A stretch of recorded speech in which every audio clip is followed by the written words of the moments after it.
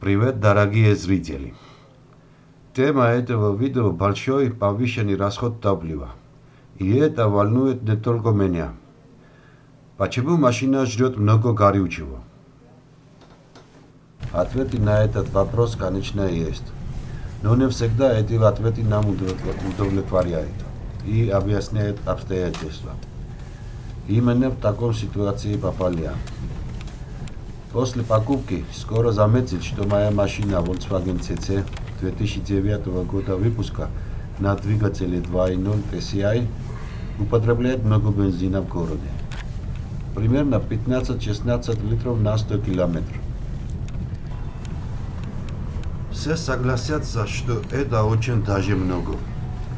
Многим ребятам спрашивал, у кого есть такая машина, сколько их автомобиль жрет в городе. И все мне говорили примерно 13 литров. Ну, черт возьми, почему тогда моя машина израсходует так много горючего? У меня есть шнурок Вася диагност, есть мультиметр. И я все датчики и сенсоры перепроверил в двигателе. Часто проверял, есть ли ошибки, но ничего подозрительного не обнаружил. Потом я стал записывать и анализировать каждую поездку и наконец-то обнаружил причину, о котором я сейчас хочу поговорить и поставить свой диагноз. Может, многие не согласятся со мной, но мне будет интересно ваши аргументы. И, пожалуйста, пишите в комментариях. Кому интересно, в чем может быть именно причина повышенного расхода топлива в городе, если машина работает исправно, смотрим видео дальше и вместе разберемся. Итак, идем дальше. Два месяца назад я был в Тбилиси. В общем, туда и обратно проделал 450 километров. В Тбилиси ехал и в пробках, и, конечно, по светофорам останавливался. Машине нас было 4 тяжелого веса человека. Ета примерно 400 кг. килограмм вклучена е печка, стеклоочистители и фари. Почти на весь дороге била плохая погода. Когда я приехал домой, средний расход бензина был 9 литров на 100 километров. И это неудивительно и нормально при таком режиме езды. Машина на весь дорогу таскал 400 килограмм и электроника была включена почти на максимальное потребление. Теперь посмотрим, что происходит со мной при езде в городском режиме. Я специально на бензоколонках не заливал бензин в а заливал в канистрах. 95 бензин. Потом заправлял бак дома до конца. Дозировал, мерил и делал расчеты. Часто я наблюдал на показания бортового компьютера. Сравнивал показания компьютера и реальный расход.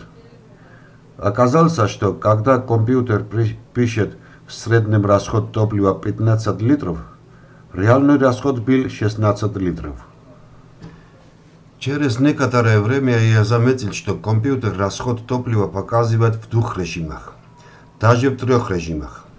Достаточно нажать кнопку ОК на руле и вы увидите первый режим. Это сколько на маленьких расстояниях Например, сегодня, когда вы ездили, сколько был средний расход топлива.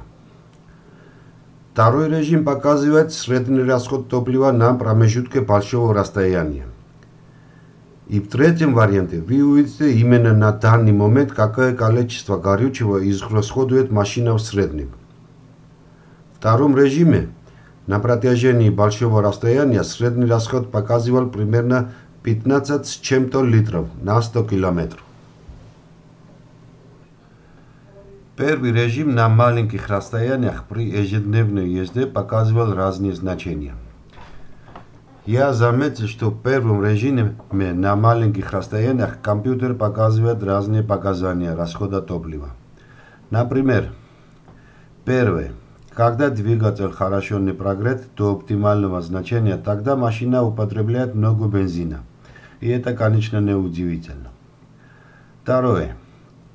Средний расход топлива зависит от средней скорости. Чем меньше была наша средняя скорость, тем больше расход топлива. Это тоже не удивительно. И третий. При наблюдении, когда машина поднимается на крутом подъеме с первой и второй скоростью, жрет очень даже много бензина. Компьютер в таком случае нам сообщает, что если мы будем в течение часа подниматься на таком подъеме, в таком режиме, тогда расход бензина примерно до 50 литров на 100 километров будет у нас. Ну хорошо, запомним эти три причины и теперь обсудим, часто завестен, в каком режиме именно мне приходится ездить по городу.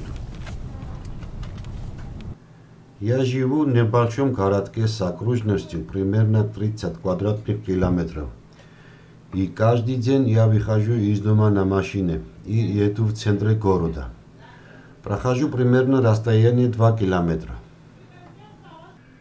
Вот я выхожу из дома.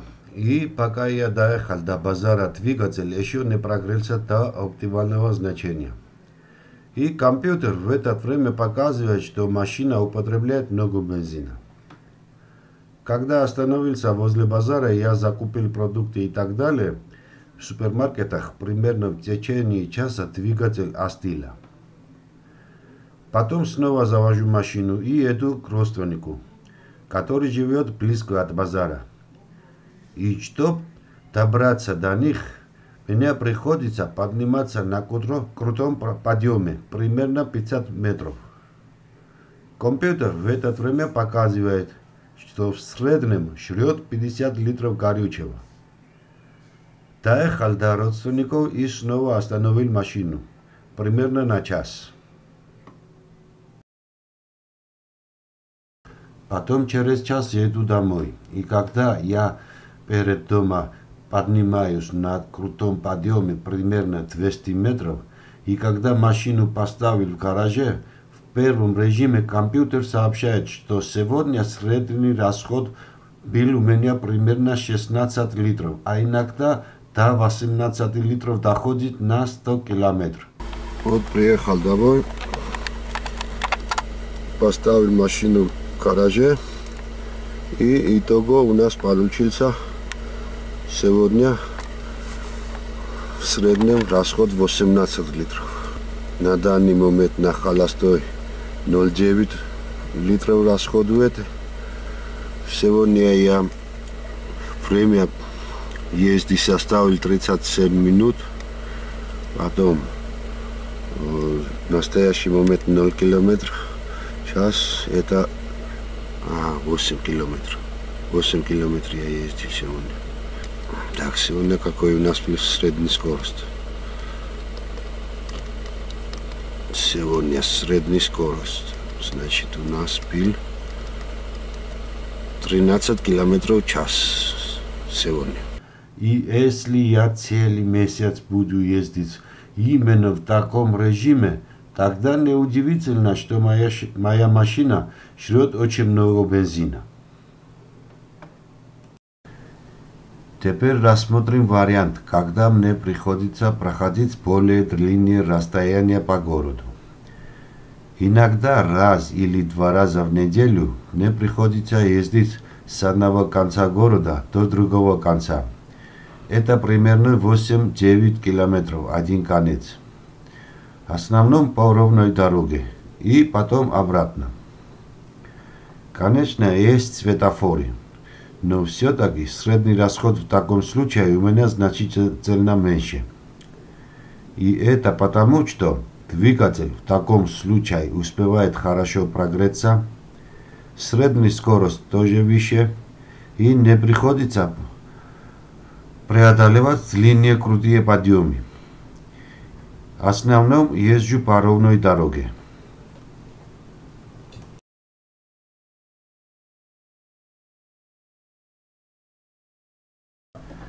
Вот смотрим, 12-13 литров в среднем городском режиме, как и должно быть.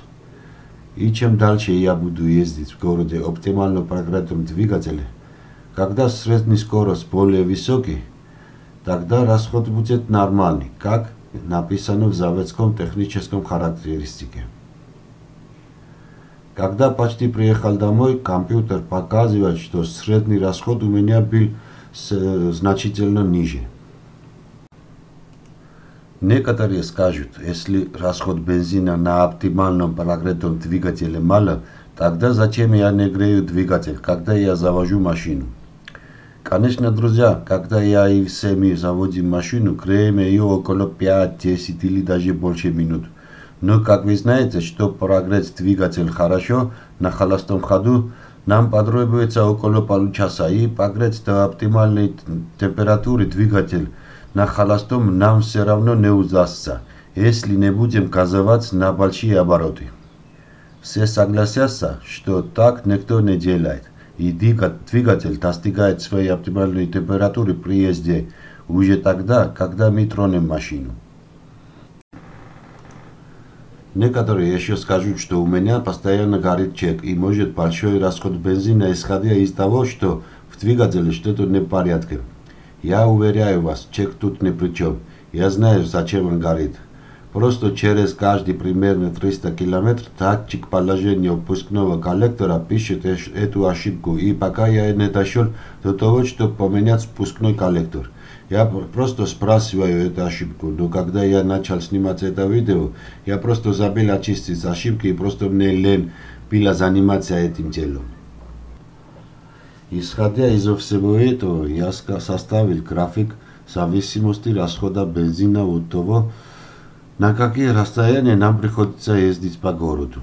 Например, если мы каждый день из дома будем ездить туда и обратно на работу – который находится от нас на расстоянии 2 километра, тогда расход бензина у нас будет значительно больше, например, 16 литров на 100 километров. А если мы каждый день будем ездить на работу туда и обратно, который находится от нас на расстоянии 10 километров, тогда расход будет значительно меньше, в среднем на 100 километров. И это будет приблизительно 12-13 литров. Значит, выходит, что чем дальше мы ездим на разогретом двигателе и чем больше у нас средняя скорость, тем оптимальнее будет наш расход топлива. Если мы часто будем ездить по трассе, тем меньше будет средний расход, около 8 или 10 литров. И, конечно, мы все знаем, что расход бензина зависит еще от многих факторов, перечислить которых в этом коротком видео нам не удастся. Так что, друзья, если ваша машина употребляет много бензина, не надо паниковать. Перед тем, как вы начнете диагностировать и искать причину неисправности в двигателе, подумайте сначала, в каком режиме вам часто приходится ездить на своей машине. Обратите внимание – именно в каком режиме вам часто приходится ездить на своем тачке. Ставьте лайки и подписывайтесь на наш канал, если полезно было для вас этот видео. Спасибо вам за просмотр.